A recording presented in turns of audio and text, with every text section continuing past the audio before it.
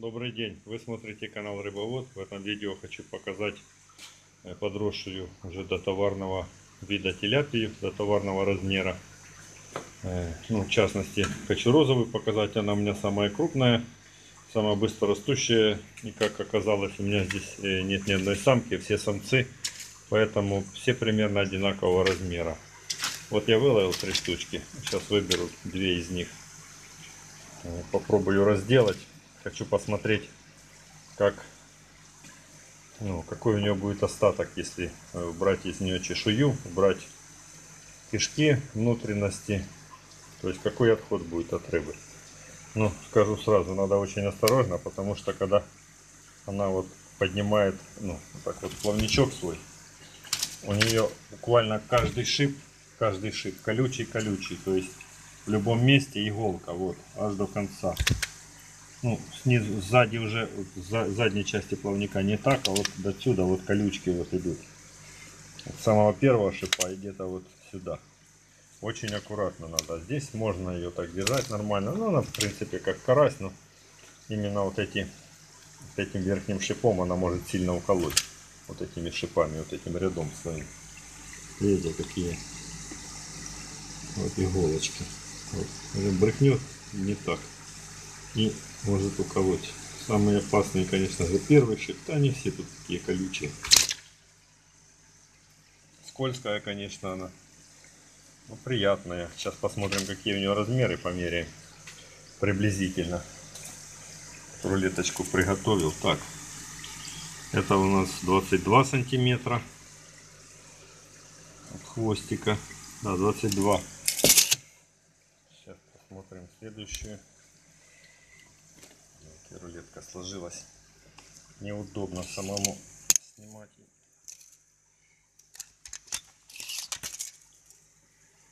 Так, это у нас 22 сантиметра. А это 21.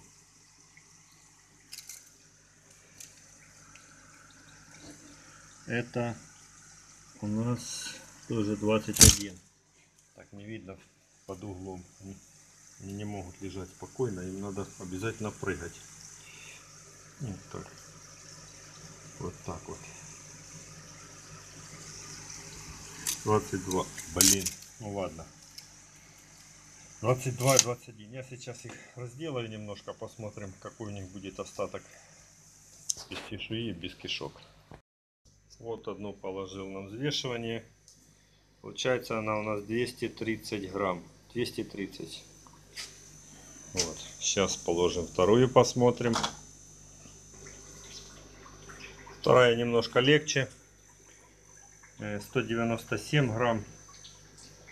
Ну, 197 грамм. Сейчас, в общем, мы их разделаем, посмотрим результат. Так, разделал я теляпий. Все-таки умудрился я уколоться. А вот эти шипы пока разделывал. Я почистил чешую с нее. А, Гладенькая такая вот. Вот полость. Удалил кишки. Разрезал здесь мембрана такая была. Он видно где хребет под этой мембраной. Там как бы э, вместо воздушного пузыря собирается воздух. У него нет воздушного пузыря. Ну, кишков не очень много было. Сейчас посмотрим. Что у нас 0. 185 грамм. Это была 230 грамм, стало 185. Э, Сейчас вторая у нас.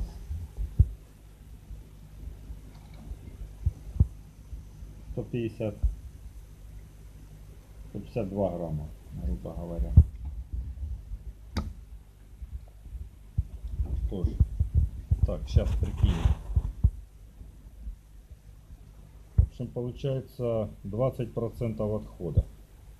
Выход 80%. Ну, если там еще удалить там плавники, ну, как бы, если, насколько я знаю, карася карпа жаришь, то плавники съедобные, не зажариваются, вкусные. Теляпия ж вообще деликатесная рыба, я ее как бы буду первый раз пробовать. В общем, если подводить итог, то выросла она у меня за 7 месяцев, но, как я говорил предыдущих всех своих роликах, э, она у меня имела недокорм небольшой, чуть-чуть больше месяца. То есть, ну, грубо берем 6 месяцев. За полгода она у меня достигла ну, в среднем 200 грамм. Там есть побольше экземпляры, 250 есть.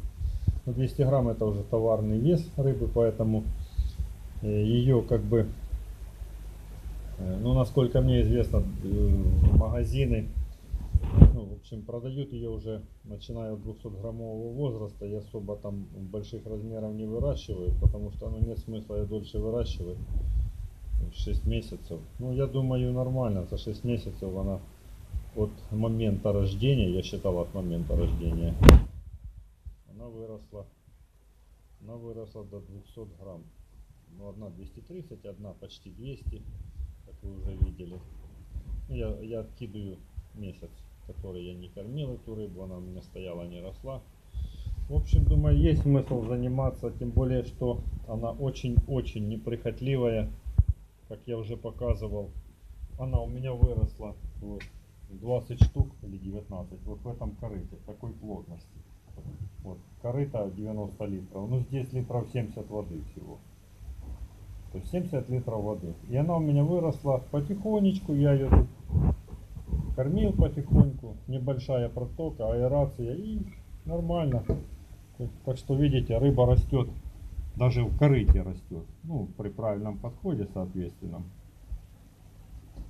Поэтому думаю выращивать теляпию есть смысл, если даже в таких условиях она до 200 грамм выросла, то не говоря уже о каких-то там бассейнах, даже еврокубах, еврокубе гораздо ей будет свободно, э, свободнее, чем в этом корыте. А Еврокуб не такую большую площадь занимает, поэтому, поэтому думаю, есть смысл выращивать. Ну что ж, теперь буду пробовать получить потомство из других видов теляпии, как я уже упоминал, у меня есть еще нильская теляпия, и вот недавно я получил мозамбикскую ролик перед этим, перед этим выкладывал.